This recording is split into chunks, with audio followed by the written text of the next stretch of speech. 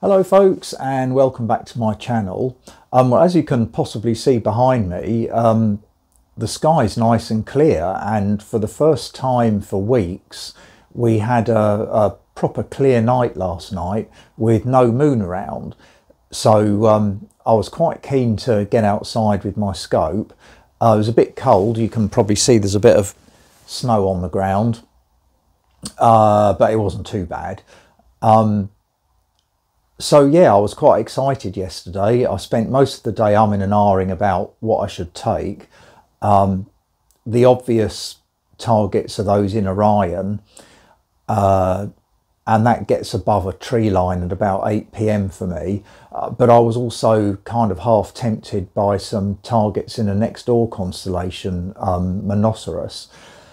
Uh, principally the Rosette Nebula that I've shot before and the Cone Nebula that I've never shot. But um, yeah, in the end, I opted for targets in Orion and I picked the uh, Flame and Horsehead Nebula that I think I last took probably three years ago almost. Um, so I was keen to, to revisit that again. So um, yeah, I'm going to wind back the clock to last night and take you out to me, uh, me setting up. My name's John and I make videos on camping, walking and astronomy. If you like what you see in this video then please check my channel out as you may find others that interest you there. But in the meantime let's crack on with this video.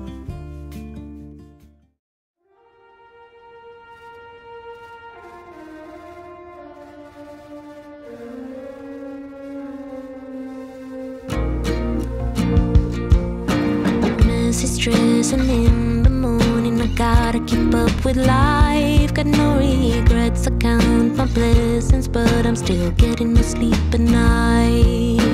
Getting out of the house, I heard an eagle in the top of a tree. I had to listen. I got a feeling it was saying something to me.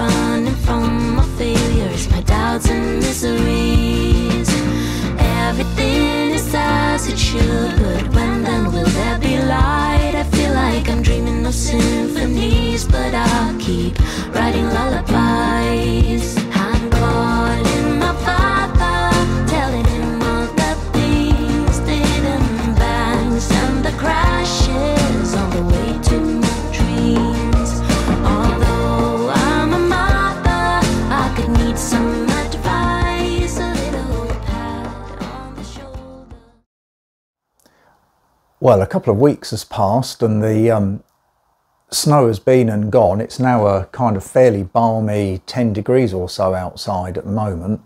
Um, but while the snow was around, I was dead lucky. I um, had a trip planned up to the Lake District and the day that I arrived, it absolutely came down a huge load of snow. And the following day was a, a crystal clear blue sky day. So um, it was the first time I've had conditions like that for about 30 years.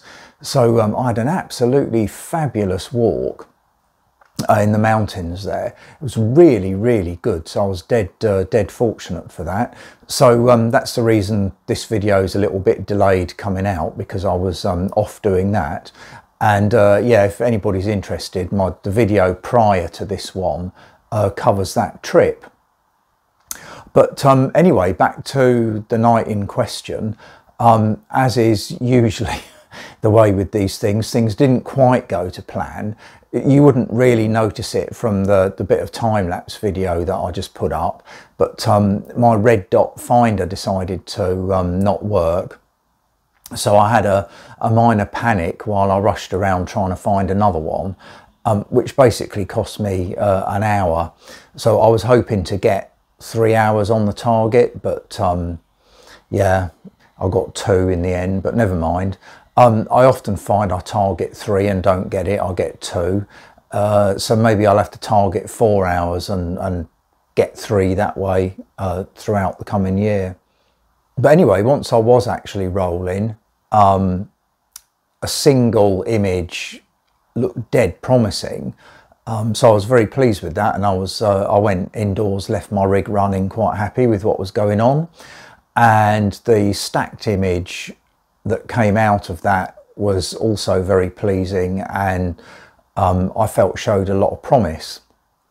One of the interesting things between a, um, a single image and a stacked image is I, I often see comments on uh, Facebook kind of astro groups and stuff where people say that they can't they they believe that the the single image is is no worse than the, the the stacked image and indeed in some cases the single image actually looks better than the the stacked image um, and in my case here when if you compare the um, single image with the stack of, of 70 90 second exposures um, there's not a huge amount in it in terms of the, the detail that you can see.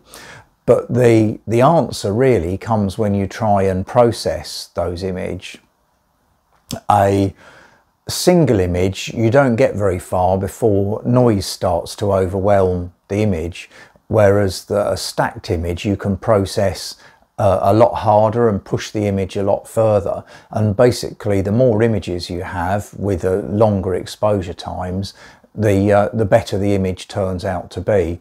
So um, yeah, you, you, shouldn't really get disheartened when you see your stacked image and figure that it's no better or potentially even worse than, than a single image.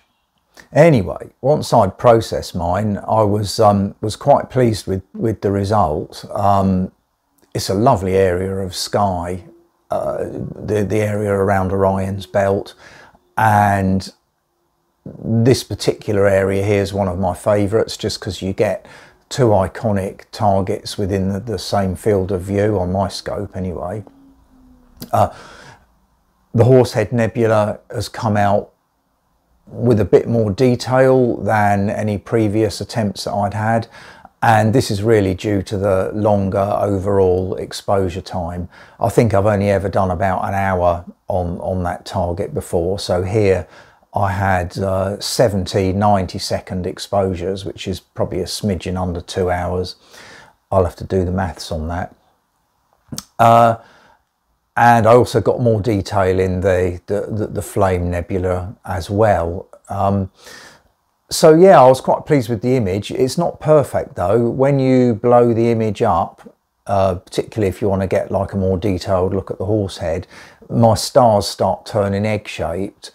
And this really uh, was my own fault, almost certainly due to uh, poor initial setup, which was really me panicking after I um, had to run around trying to sort my red dot finder out. Um, I didn't take the care that probably I should have done. So um, yeah, I kicked myself a little bit over that now, but that gives me some scope for improvement again next time I, I do this image. So, uh, but yeah, overall I'm quite pleased with it to be honest. So I shall put that up now and I hope you like it and I look forward to seeing you next time. Take care, cheerio.